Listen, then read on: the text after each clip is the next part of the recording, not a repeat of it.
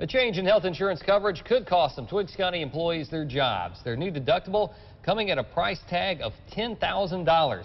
It's something they say they just can't afford. If a compromise can't be reached, some employees say they're going to have to leave their jobs. WGXA's Noel Saunders has the story. These people live from paycheck to paycheck, Oh, I know that. and they don't have $5,000. Major Jamie McDaniel of the Twiggs County Sheriff's Office pleads with commissioners to take action on the $10,000 health insurance deductible for his family and others. The majority of county employees currently pay close to a $5,000 deductible on health insurance plans and cannot afford to pay any more. Some will be forced to leave. I can't afford anything at this point. Um, I do know that I will be looking for another job if it changes so high I can afford it. The county says it has no option because of a 46% increase in premiums from Blue Cross Blue Shield. The county covers the cost of the premiums for the cheapest plans, and employees pick up a portion of the more expensive coverage. Commissioner William Bond says not everyone will suffer the increase. You have uh,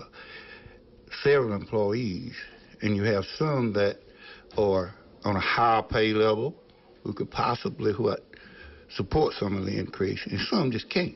An employee benefits handbook details new plan selections. The family deductible on one plan runs $7,500 a year, while two others are at $10,000. Jamie McDaniel makes $38,000 a year and is already swamped with medical expenses for his sick son. His only option is a plan with the most coverage. I have a terminally ill child, and there's other employees with the county that have uh, serious illnesses or terminally ill diseases, which they require a PPO plan. Chief Magistrate David Brown is worried. That's the problem here in the county, is, is funds. Uh, I am worried about the employees of the county that cannot afford the, the raise and the prices. Open enrollment for employee benefits begins on June 6 at 8 a.m. in the Board Commissioner's office. Noel Saunders, WGXA.